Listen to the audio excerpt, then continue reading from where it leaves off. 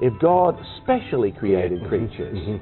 what would be a good word to use? Because they were separately and specially created, right? So, what better word than species? Species, yeah. So, therefore, the whole concept of species is actually related to special creation. Creation.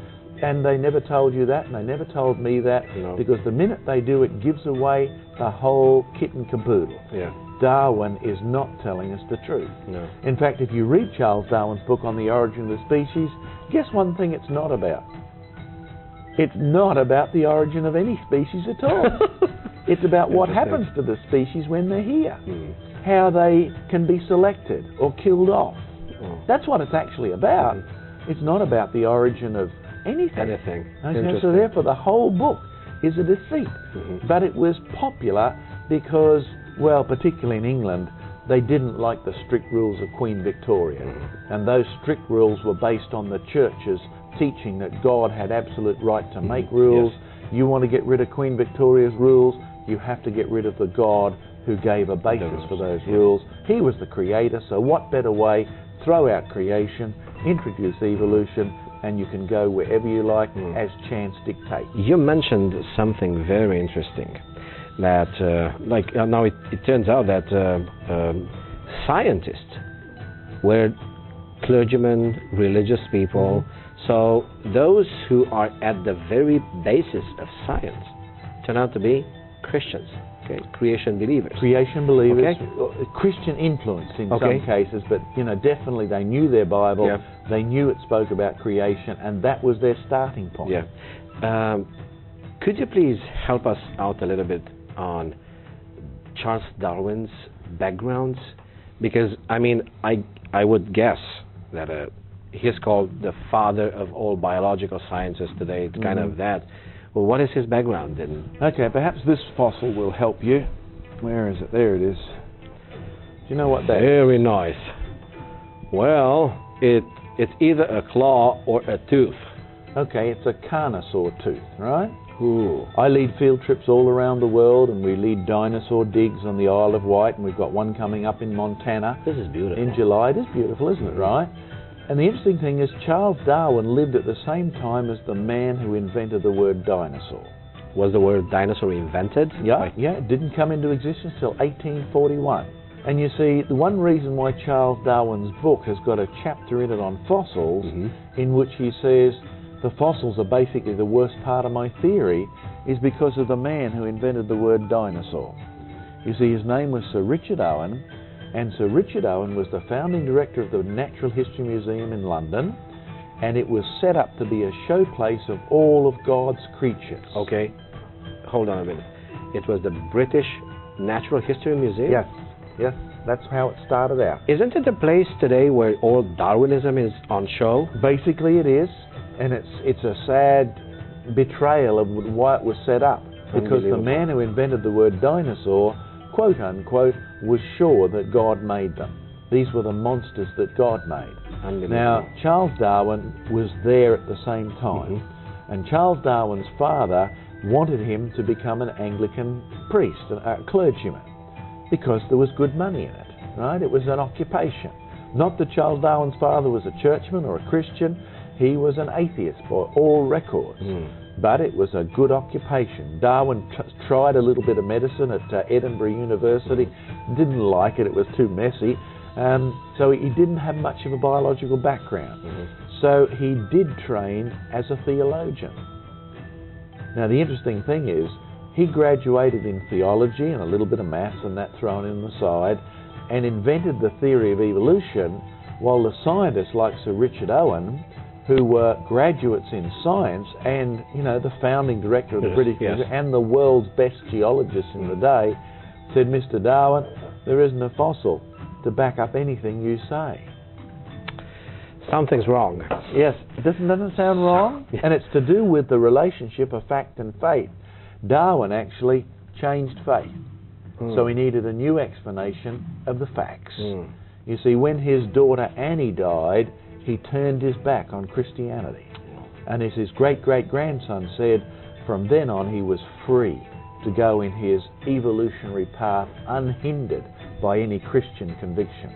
Well, we're talking about evolution being kind of religion. Yes, because you see, if you think it through carefully, Darwin was the first to admit because Professor Richard Owen said, You've got to say this, Charles. There's no fossils to back up anything, so therefore Darwin never based his theory on the fossil evidence. Secondly, he lived before the work of Gregor Mendel, the priest who Yes, was a yes, geneticist. He lived before his work had ever been published, so Darwin knew nothing about genetics. Genetics. And he never lived long enough to see anything evolve into something else at all. As I can So, remember, yeah. Therefore, the, the three things that you need for a scientific theory evidence that has happened, Yes. evidence that is happening, and a way by which it can happen those three things are totally lacking from Charles Darwin's work on the origin of the species.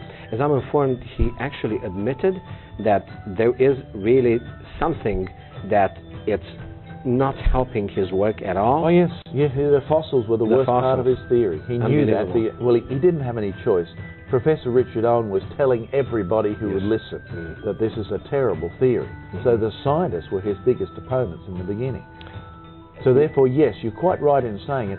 If, if you're talking about faiths, Christianity is a fact-based faith, Okay. whereas evolution is an absolutely factless based faith. There is the difference. They're two religions, Mhm. but one is based on facts.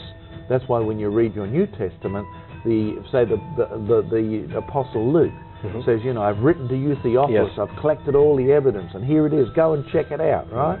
And so it's a fact-based faith. Whereas the uh, theory of evolution, nobody was there to watch it happen. Darwin didn't have any evidence. He didn't know how it could.